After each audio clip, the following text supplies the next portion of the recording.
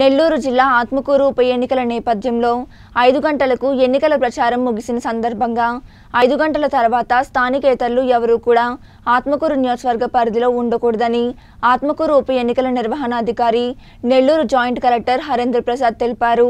నిబంధనలు ఉల్లంఘించిన ఎడల తగు చర్యలు తీసుకోబడతాయని హెచ్చరించారు.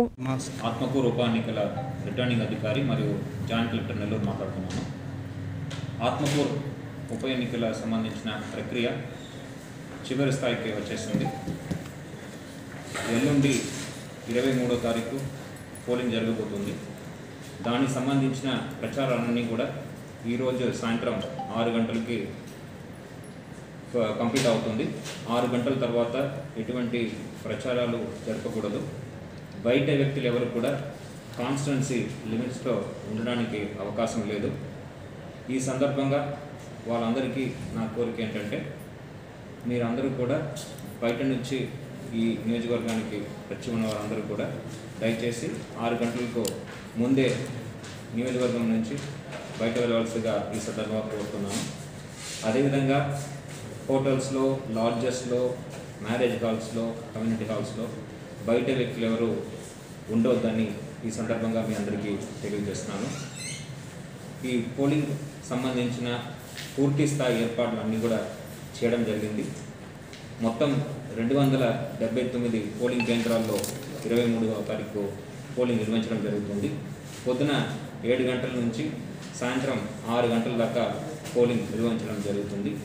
దీనికి సంబంధించిన పోలింగ్ పార్టీస్ వాళ్ళు ఒక అపాయింట్మెంట్ ఆర్డర్స్ అన్నీ కూడా తయారు చేయడం జరిగింది. వాళ్ళకి కావాల్సిన మెటీరియల్స్ అన్నీ కూడా ఏర్పాటు చేసుకోవడం జరిగింది. పోలింగ్ శాంతి భద్రతతో జరగడానికి central armed police force CAPF కూడా మూడు కంపెనీలు డిప్లాయ్ చేయడం జరిగింది. వీళ్ళతో పాటు ఏపీ స్పెషల్ పోలీస్ కూడా మనము పోలింగ్లో ఎంప్లాయ్ చేయడం జరుగుతుంది. మొత్తం రెండు వందల డెబ్బై తొమ్మిది పోలింగ్ కేంద్రాల్లో దాదాపు నూట నలభై పోలింగ్ కేంద్రాలు క్రిటికల్ పోలింగ్ కేంద్రాలుగా గుర్తించడం జరిగింది వెబ్కాస్టింగ్ ద్వారా నూట నలభై పోలింగ్ కేంద్రాలు డెబ్బై ఎనిమిది వీడియోగ్రాఫర్స్. వీలే కాకుండా దాదాపు వంద మంది మైక్రో అబ్జర్వర్స్ కూడా పోలింగ్ కేంద్రాల్లో డిప్లాయ్ చేయడం జరుగుతుంది. ఎక్కడ ఎటువంటి ఇబ్బంది లేకుండా ప్రజలు వచ్చి ఎక్కువ స్థాయిలో తరలి వచ్చి ఓటు వేయడానికి అనుకూలంగా అన్ని ఏర్పాట్లు కూడా చేయడం జరిగింది. ప్రజలందరికీ కూడా ఒక కోరిక ఏంటంటే మీరు పోలింగ్ కేంద్రానికి వచ్చేటప్పుడు తప్పనిసరిగా ఎలక్షన్ కమిషన్ ప్రకటించిన పన్నెండు ఐడెంటిటీ ప్రూఫ్స్ దాంట్లో ఏదో ఒకటి తప్పనిసరిగా మీరు తీసుకురావాలని సందర్భంగా తెలియజేస్తున్నాను.